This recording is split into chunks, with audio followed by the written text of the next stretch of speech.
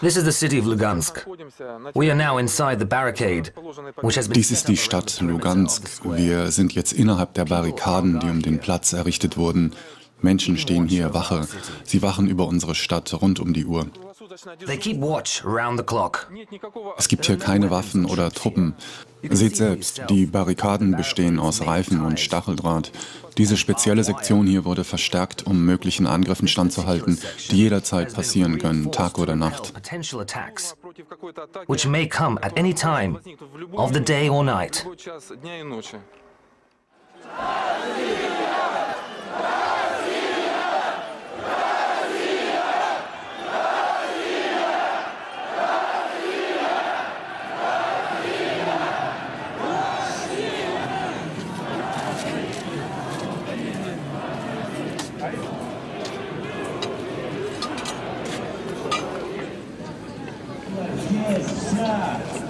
Ним родной Луганск.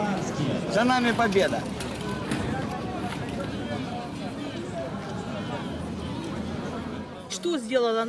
Was hat unsere Regierung, Entschuldigung, die Junta in Kiew getan, um die Ukraine zu vereinen? Sie haben ihre Armee mobilisiert. Entschuldigung, gegen wen mobilisieren sie? Wer sind die Aggressoren? Wo sind sie? Ich habe ein paar Kuchen gebacken und den Tisch gedeckt, darauf wartend, dass diese Aggressoren mich gefangen nehmen. Wann werden sie kommen? Sie haben uns unsere Fernsehsender abgeschaltet, nachdem sie uns eine Diaspora nannten. Wie können wir eine Diaspora sein? Wir sind hier 8 Millionen, wir sprechen lediglich eine andere Sprache. 20 Millionen, nicht 8.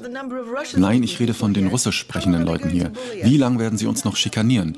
Ich kann ein Lied auf Ukrainisch singen. Ich kann ein Gedicht auf Ukrainisch aufsagen. Was denkst du, wie Ukrainer und Russen miteinander auskommen können? Wir sind alle Slawen. Wir müssen in Frieden leben. Wir sind Brüder. Wir sollten nicht gegeneinander kämpfen. Wir sind ein Volk, alles Brüder. Meine Heimat liegt dort hinter mir. Russland ist meine Heimat.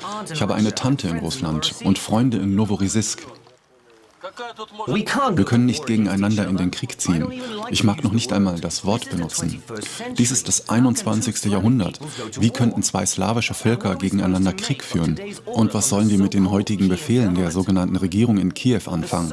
Die sogenannte Regierung in Kiew gab den Befehl in Slawiansk, die eigenen Leute zu töten. Wie ist das überhaupt möglich? Ich weiß nicht, was ich sagen soll. Sie kümmern sich nicht um die Genfer Vereinbarung. Faschisten. Überall laufen OSZE-Beobachter herum. Aber was passiert? Ich werde nicht schlau daraus. Niemand von uns. Wer hat in diesem Irrenhaus das Sagen? Who is in charge of this madhouse?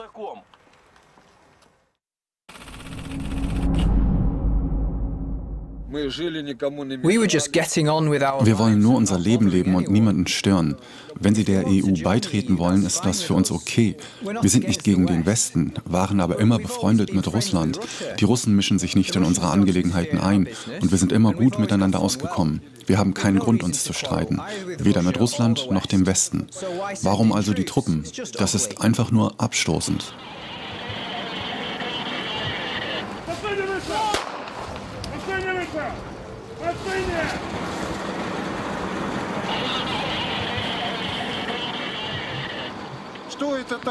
Our home. Dies ist unsere Heimat. Wir haben eine eigene Sprache und Kultur. Welches Recht haben andere Leute, hierher zu kommen und das Gesetz zu brechen? Beide meine Großväter wurden im Zweiten Weltkrieg getötet. Nie werde ich Ehre der Ukraine, Ehre Bandera singen. Ich hoffe, das kapieren Sie. Alle Verantwortlichen müssen in Den Haag verurteilt werden. Tried at The Hague. Wozu die Truppen? Sie sollten stattdessen all die Terroristen in Kiew verhaften, all die Präsidentschaftskandidaten, die Militärjunta, die Nazis, die Befehle gaben, die eigenen Leute zu töten. Nur weil ihre Kultur und Sichtweise anders ist. Ich stehe hier nur für mich selbst, ich bin kein Politiker. Hier ist unsere Kalaschnikow, das neueste Modell, unsere Automatik. Wir haben keine anderen Waffen.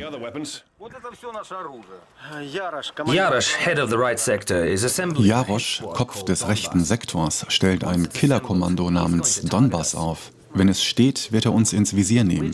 Wir sind unbewaffnete Leute, die nur versuchen, ihre legitimen Interessen zu verteidigen. Er hat angekündigt, normalen Soldaten 1000 Dollar, den Offizieren 5000 zu bezahlen. and officers $5,000.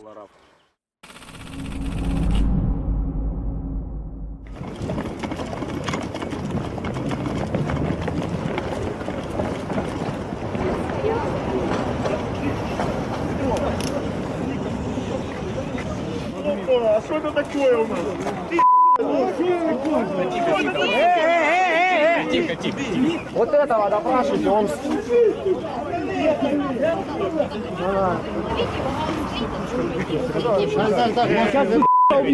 Хлопці, не бити, я його знаю, хлопці, не бити.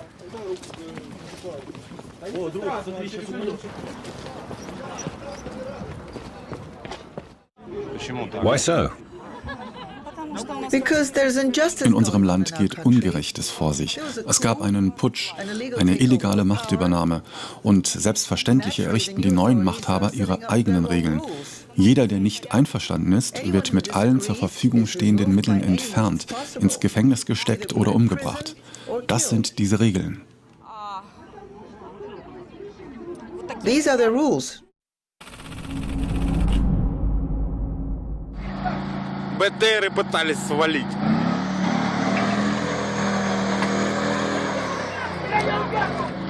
Ты в кого стреляешь, ты? Ты в кого стрелять собрался? В кого ты стрелять собрался? Кого? Что, а что ты автомат достал? Глуши! Глуши так! Глуши! Да до, до греха не доводи! Ты понимаешь, сейчас люди кинутся тебе и автомат не поможет! Да вытаскивать их с того танка! Глуши машину! Сзади люди, спереди люди!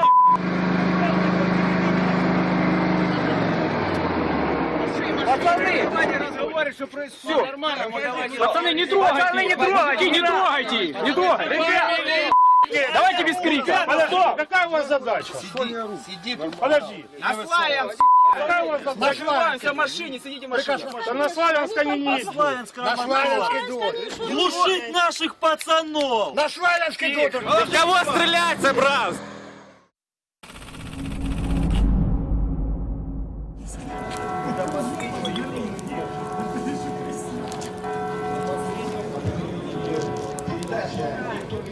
My name is Natalia Safonova and I live Mein Name ist Natalia Sofanoma und ich lebe in der Stadt Krasnodon. Die Bergleute arbeiteten weiter, als die Revolution begann, bis vor vier Tagen. Gestern, am 22. April um 9 Uhr abends, begann hier die Versammlung am Yanga-Platz. Heute ist der 23. April und die Versammlung dauert noch immer an. Wie fühlt ihr euch bezüglich der Aktionen des rechten Sektors in der Ukraine? Du kannst das Narzissmus nennen. Hast du Angst vor Narzissmus? Natürlich nicht. Warum sollten wir Angst haben? Nicht alle Bergleute haben sich bisher erhoben, aber wenn der ganze Donbass sich gemeinsam erhebt, dann ist das Spiel für jeden aus. Weißt du, dass ein Soldat für die Weigerung zu kämpfen getötet wurde? Das ist nur der Anfang. Richtig, das ist nur der Anfang. Aber wie lange wird es dauern? Ich habe keine Ahnung. Wir tun unser Bestes. Wir stehen hier und versuchen es zu beenden. Ich kann nur eines sagen. Wenn sich die Bergleute erheben, dann ist das schlimmer als der Maidan. Eine Million Mal schlimmer. Unsere Leute in der Lugansk-Region sind im Herzen Russen. Es sind Russen. Sie versammeln sich hier und skandieren Russland. Sie wären nicht in der Lage, mit Geld 10, 20 oder sogar 30.000 zu versammeln, die Russland rufen. Ich käme nicht jeden Tag hierher, um uns Porridge, Eier und Geld zu bringen. Der Sinn unserer Aktivitäten hier ist, die Interessen der Bevölkerung zu vertreten. Was die Leute sagen, das soll passieren. Wir tun, was die Bevölkerung sagt. Und wenn sie etwas anderes wollen, dann bedeutet das, dass wir eben das tun.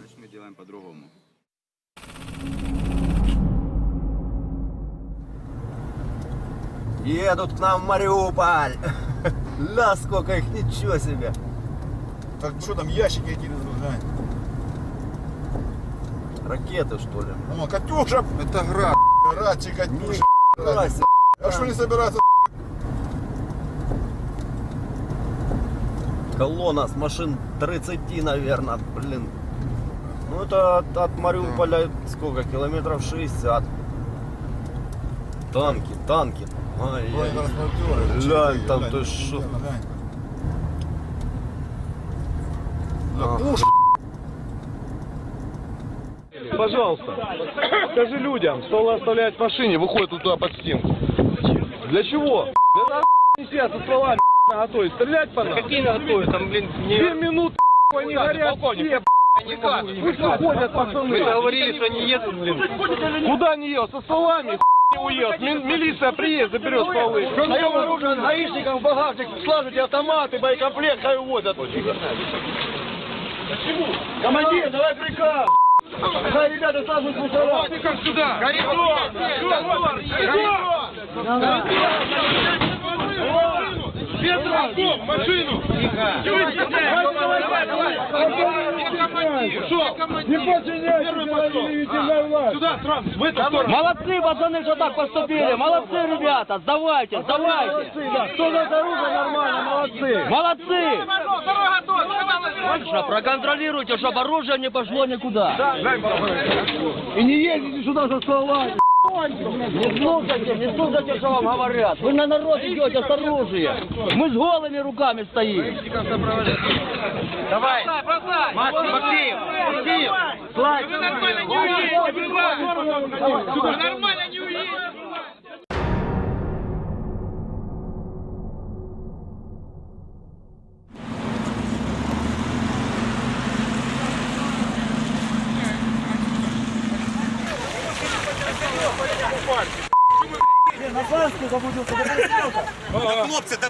Что такое? Где? Урал блокировали возле поста ГАИ, он с ящиками, с оружием. Ребята, можно, можно отъехать? Ну, в ящик. Да я не знаю, хлопцы, что в ящиках. Я сейчас скрывать начну. Да зачем их скрывать? Ну, Едете куда? М- Мужики, вы, Куда вы- едете? выключите это самое. Едете Алло, куда? я- я что-то- Едете куда? На Давайте Луганск. группу на пост Письменное распоряжение о приказах где? Письменное распоряжение приказа о дислокации на какое место прибытия. А как вы едете? У вас долж- должен быть дорожный лист, должен быть приказ. А что приехали? Приехали, что? Приехал, что я тебя кричи, Я на спрашиваю? Луганск ехал. Какой? Луганск вообще в другой стороне, ребята. Луганск в другой стороне. Я, я же Какого? говорю, запутался в Луганск, это самое. На по дороге. 80 километров вперед Документы свои показал. Быстро. Давай показывай, что там есть. Оружие, все. Ребята, Держи руки, руки держи. да, я, не- да не держите все. Забирай. Да, да перестаньте, я же никому ничего плохого не делал. Куда Да, я? да, вообще никто плохого не делает, понимаешь? Вообще никто ничего плохого не делает. Забирай. Да, ложись. Ложи на пол, ложи, вот. Стоп, стоп, стоп, стоп, стоп.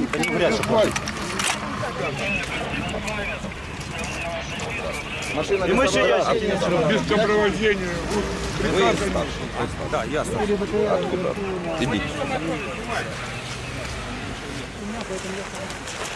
Все, лезет.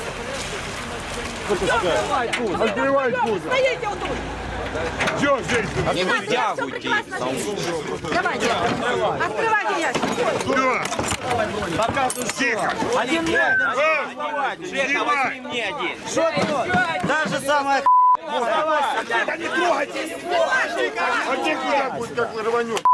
На, проверь. Ну. Аккуратнее, ти. Патрон, финки, финки, финки. Проверь. А это, это вся, это отпоем. Гранаты. Все, ложи назад, ложи назад. Ты что, отошли от машины? Это самое заблокировала. Я догнала их. Никаких оружий на Донбассе не будет. Дозвольте, я уеду и никаких то самое. никаких Уедешь, претензий. Ты уедешь теперь отсюда. Мы хотим мира. ну, Все тут. Надо я и угоню. Wann werden Sie aufhören, uns zu beleidigen? Wann werden Sie aufhören, uns Separatisten und Terroristen zu nennen? Wir stehen morgens auf und werden Separatisten genannt. Wir haben angefangen, uns so zu grüßen. Hallo, ich bin ein Terrorist. Hallo, ich bin ein Separatist. Wir sind nicht anders als diese Leute. Wir sprechen nur kein Ukrainisch. Das ist der einzige Unterschied. Warum hassen sie so sehr ihre eigenen Leute? Wo kommt all die Bitterkeit und der Hass her? Was haben wir ihnen getan, dass sie uns so sehr hassen? Wenn wir tatsächlich solche Nervensägen sind, so süchtig nach Fördermitteln, warum lassen sie uns dann nicht allein? Alles, was wir wollen, ist unsere Zukunft selber bestimmen. Gebt uns ein Referendum und wir lösen unsere Probleme selber. Sie haben Angst vor einem Referendum, Angst vor den eigenen Leuten. Aber warum? Die Menschen haben das Recht zu wählen. Wir bebauen das Land und arbeiten in den Minen. Lasst uns bitte einfach in Ruhe. Bitte lasst uns in Ruhe. Wir sind friedliebende Menschen.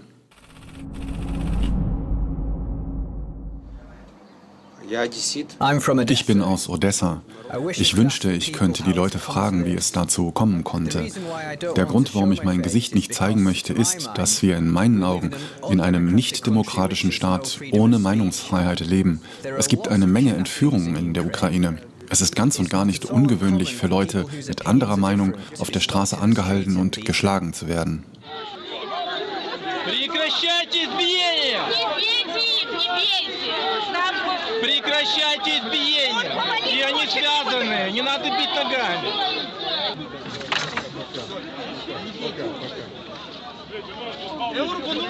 Держи, держи, держи. Ребята, держите, свяжите его. Ребята, спросите, чего он ты,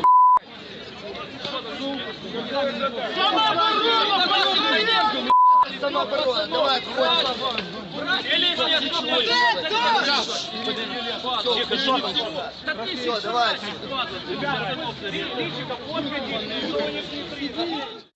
Но пасарам! Ну не пройдет фашизм! Но пасарам! Не пройдет фашизм! Нет фашизму! В нашем городе фашизму не будет! Я вам передаю привет от всех, кто сегодня за нами смотрит и следит за нашими событиями. Бог нам поможет! Glaubst du, die Mehrheit in Odessa ist für oder gegen den Maidan? 80 Prozent der Bewohner Odessas sind gegen den Euromaidan. Die übrigen 20 sind wahrscheinlich fehlgeleitet oder leben hier nicht ständig. Beinahe alle hier sind gegen den Maidan. Sie protestierten auf dem Maidan, damit Janukowitsch geht. Und er ging. Warum sind sie jetzt dort? Was wollen sie? Ich persönlich würde sagen, sie wollen die Pest des Nationalismus in der ganzen Ukraine verbreiten. Niemand im Südosten oder dem Rest der Ukraine braucht diese Art Nationalismus.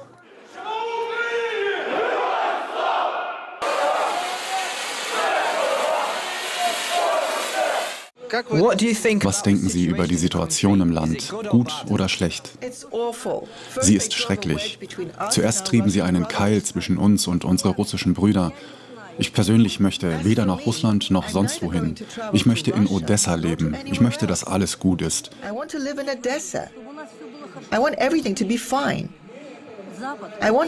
Ich möchte, dass wir Freunde Russlands sind. Der Westen ist nichts für uns. Diese Union, was passiert in unserem Land? Es ist ein Albtraum. Wie sollen wir überleben? Mein Lohn beispielsweise beträgt 92 Dollar im Monat. Komme ich damit aus? Gaspreise sind um 73 Prozent gestiegen. Der Preis für Medikamente ist bereits um 60 Prozent gestiegen. Es ist schrecklich, wirklich schrecklich.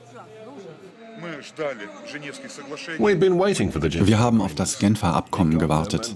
Wir bekamen es und waren Russland sehr dankbar dafür. Wir verstehen sehr gut, dass die sogenannte Übergangsregierung in Kiew, wie auch der rechte Sektor, die Svoboda-Partei und ein paar andere Nazis nie vorhatten, die Verpflichtungen einzuhalten. Sie können es ganz einfach nicht. Sie haben ganz andere Intentionen. Zu töten mit dem Slogan Hängt die Moskowiter auf. Сюда иди! Руки мои из кармана, я с тобой говорить морской пехотинец! Так не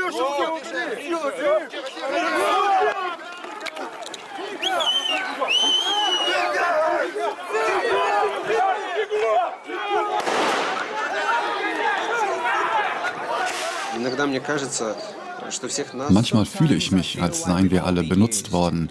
Sie nahmen uns die Handschellen ab und legten uns dafür Fußfesseln an.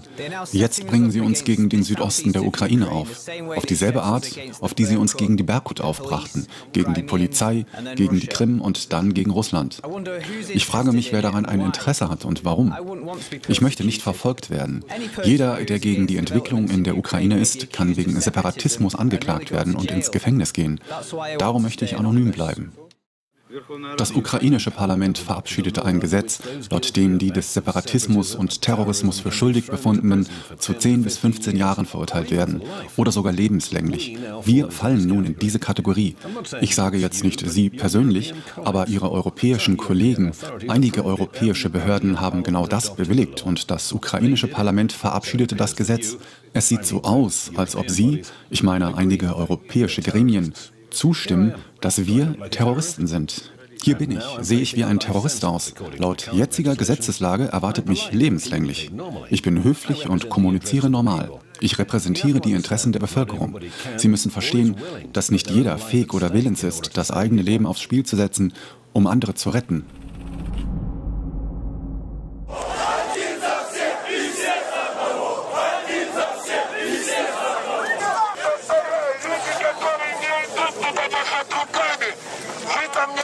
Снимайте, пожалуйста, потому что сейчас без камеры останется. Ладно. Который...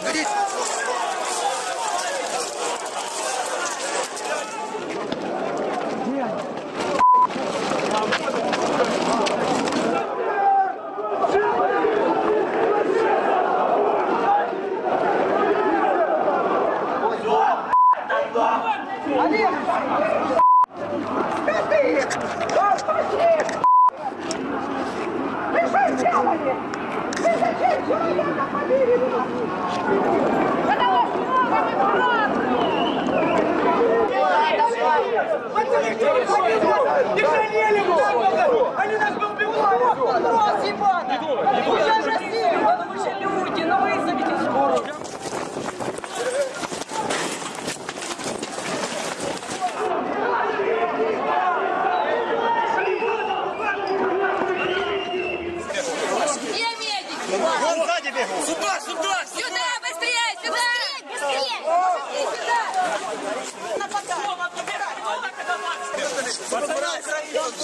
Párate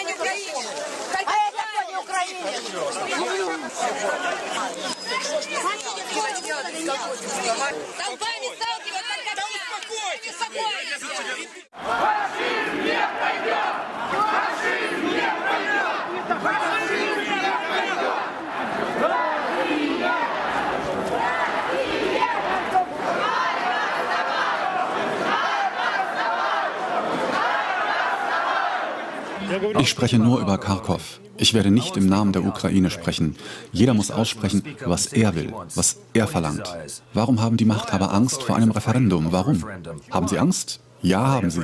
Aber wenn nicht, dann müssen sie uns sagen lassen, was wir zu sagen haben. Und das werden wir. Wir sind keine Separatisten, keine Radikalen. Ich lebe in Kharkov. Ich bin 61. Ich will verstehen, wo ich lebe, in welchem Land ich lebe. Russland und die Ukraine müssen tapfer zusammenstehen. Wir sollten Russland nicht im Stich lassen. Russland ist nicht hier. Russland unterstützt uns moralisch, nicht physisch. Die Amerikaner unterstützen die Junta physisch. Da sind Truppen. Es gibt viele Dokumente, Videos und gedrucktes, was das beweist. Aber niemanden interessiert es. Мы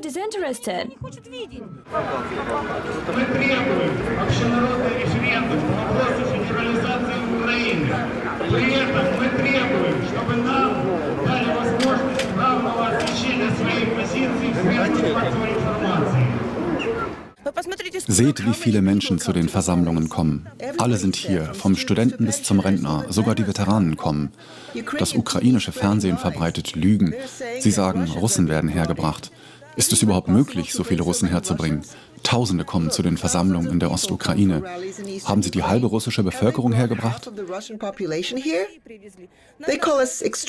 Sie nennen uns Extremisten. Wir haben immer um Erlaubnis gefragt, friedliche Versammlungen abzuhalten. Aber sie lehnen das ab. Es sieht so aus, dass die Helden vom Maidan Gebäude besetzen, Banken ausrauben und Menschen umbringen dürfen. Uns aber ist es nicht erlaubt, uns friedlich zu versammeln. Sie können sehen, wir sind unbewaffnet. Wir tragen keine Masken. Wir haben nur eine Forderung. Wir wollen ein Referendum. Wir wollen gehört werden. Man kann nicht 20 Millionen Menschen gegen ihren Willen in die NATO und in die EU zwingen.